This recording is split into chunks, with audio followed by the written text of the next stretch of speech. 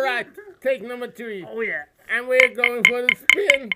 And it's a new world record holder. And there it goes. Oh yeah. And there we go. Hey, one, two, three, four. Hey, hey, hey, hey, hey, hey, hey, hey, hey, hey, hey, hey, hey, hey, hey. Go go go. And there's a backspin going on there. isn't it? No, no. Ollie. And because they are a motherfucker.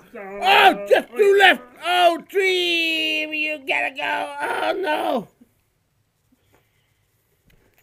It's a disaster. This is the worst record holder ever tried to get into wrench ever in world history.